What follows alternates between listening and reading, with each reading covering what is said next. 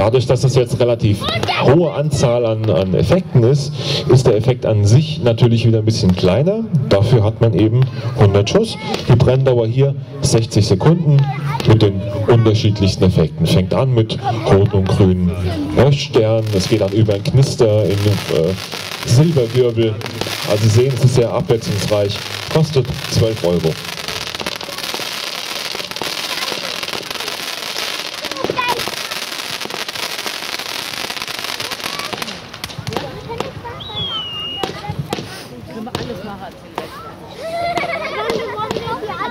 Du bist zu klein für ein Tischfeuerwerk, Leon.